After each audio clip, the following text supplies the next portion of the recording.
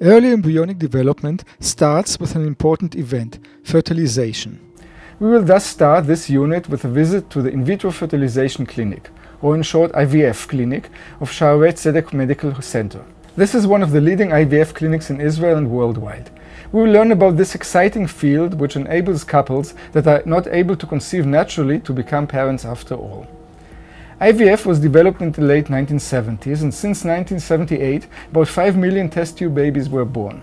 In the previous unit we learned that fertilization takes place either externally or internally.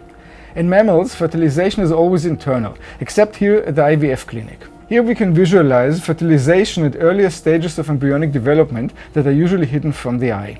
Couples opt for in vitro fertilization, IVF, when they suffer from infertility, the failure to conceive a pregnancy by natural intercourse. IVF is also used to avoid transmission of genetic diseases and for preserving fertility.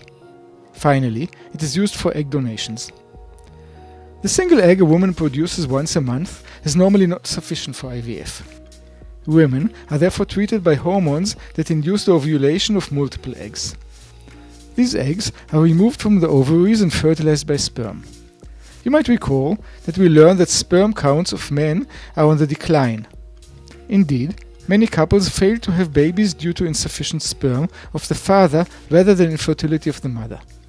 In such cases, a single sperm cell is injected into the egg, as shown here, a procedure called ICSI, intracytoplasmatic sperm injection. Fertilized egg is incubated for several days and monitored for successful fertilization and early embryonic development. Here, we see a very sophisticated incubator that ensures the fertilized egg will enjoy optimal conditions and enables the staff to follow the embryo in real time until it consists of about 100 cells. If all goes well, one or two such embryos will be implanted into the mother or sometimes into a surrogate mother. When IVF is done for screening for genetic diseases, one or more of the cells of the embryo are removed and analyzed.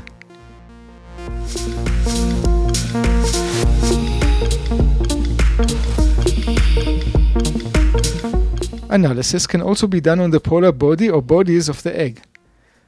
The polar bodies are the products of the first and second meiotic divisions that gave rise to the egg. We described this process in depth in chapter 3. We see here how these polar bodies are removed by micromanipulation. Genetic analysis is performed overnight so that the eggs or embryos can already be used the next day. Dr. Oshrat Schoenberger, who runs the IVF lab and that hosted us here, told us that the success rate of achieving pregnancies is very high. Like everywhere else, however, it drops with the age of the mother. During each cycle, the lab tries to obtain as many as possible healthy embryos that can be frozen down and kept for future pregnancies.